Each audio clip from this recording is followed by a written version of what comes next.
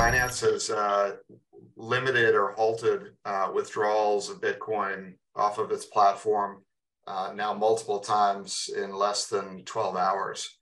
Um, oh, so, okay.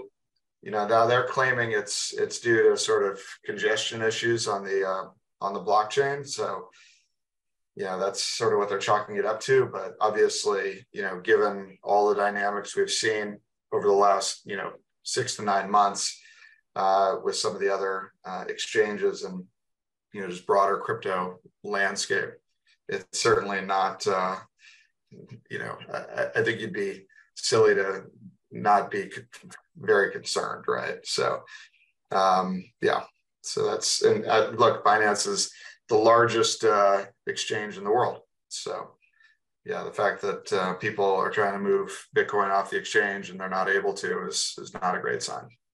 But there's only one of these assets that has any regulatory clarity, in my opinion, and that's Bitcoin because it's regulated as a commodity by the CFTC. So, um, if if the concern is what happens to the entire complex when regulation comes down, like I've I don't know, I've tried to be very consistent and just say if you want to avoid that or mitigate that risk and you feel like you want to participate in the space, then there's kind of like only one option to do so. And everything that like was said before about Binance or like pretty much any exchange, right? Like this this is why it makes sense if you want to own this. And like obviously we don't think you should in quad four, but if you want to own it, learn how to take custody and remove your private keys from the exchange such that there's no opportunity for Binance or FTX or anyone or Coinbase or whoever to essentially rehypothecate your Bitcoin um, or like fractional reserve it essentially, right? Like that. That's my my thought is that Binance they could say all anything they want about network congestion, like that that's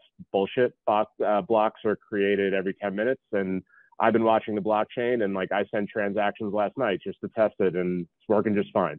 So now maybe larger transactions where you're having like you know, uh, six or seven or eight zeros after it might take a little bit long longer. It might be a little more expensive because there's there are pending transactions in the mempool. But my, I read what Binance is saying is, you know, they've they basically have more Bitcoin claims than they have Bitcoin under cu- custody. Uh, and there's a way for everyone at home to mitigate that by taking custody of their keys and not allowing the exchange to do that with your Bitcoin. Binance has enough, you know, Bitcoin than they don't. You know, it's like BREIT has enough liquidity to pay their to pay people out, then they don't. It's liquidity is which which to a degree explains why Apple, uh, if it's not a stock, it's just a liquidity position at this point or a factor exposure, can do what it does on days like that. Because if you need to get liquid, you know, there you go. Um, there's so many things going on other than the cycle itself. I I, I think that uh, after a day of hedge Hedgeye Live, by the way, you know that's like what that's like doing the call on steroids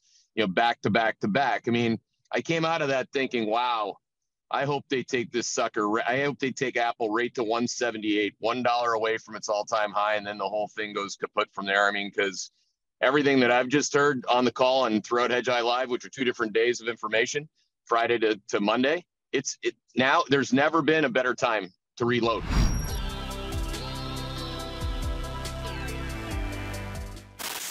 Hey there, Hedgeye Nation, or if you're not part of Hedgeye Nation, thanks for watching Hedgeye on YouTube. If you haven't already, make sure to click on the button below there. Subscribe to our YouTube page. You can also follow the link in the description to our website to get even more great investing content.